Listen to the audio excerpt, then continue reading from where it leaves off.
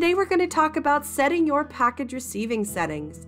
First, go to Tools at the top of your screen and click Postalmate Settings. Then, on the left, click on Package Receiving.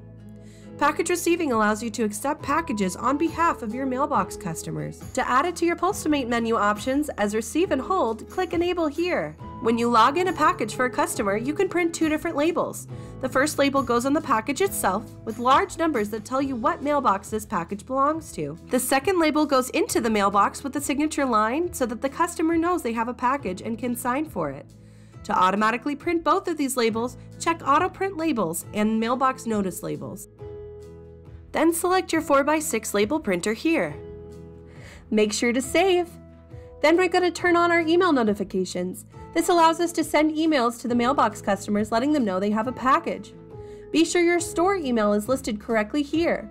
Then, click Enabled, click on Customer here, and lastly, click Auto Send. Once this is enabled, select the Package Receiving tab.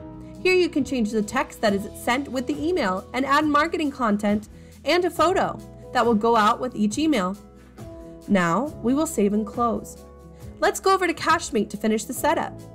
Click the mailbox button here, then click on Tools, then Settings.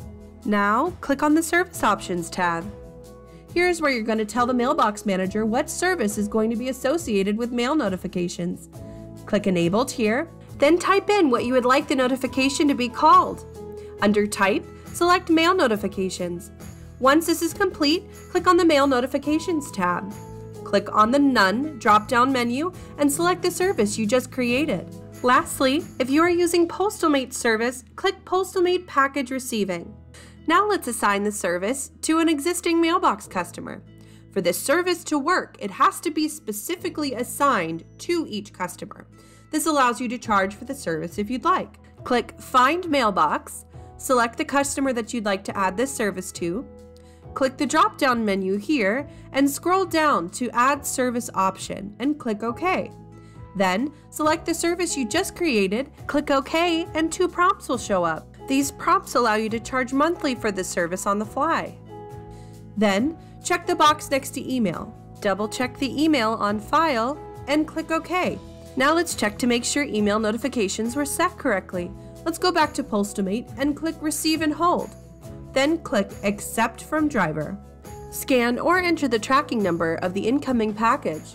If you scan this package and it's a standard carrier, it should automatically select the carrier. If it doesn't, like in the case of Amazon, select the carrier of the package and click OK. Then, type in the mailbox number that this package belongs to and click OK. The primary name associated with the mailbox should show up. If email notifications were added to this customer correctly, a checked box labeled email notifications should show up here. Any additional notes you'd like to add go in this box, such as box came damaged or open. If this is the only box you need to check in, click Done. If you have additional boxes, click here and scan the next box and repeat the steps above. If you've checked auto print labels previously, this box will be checked and both labels will print at this time for each box that was checked in.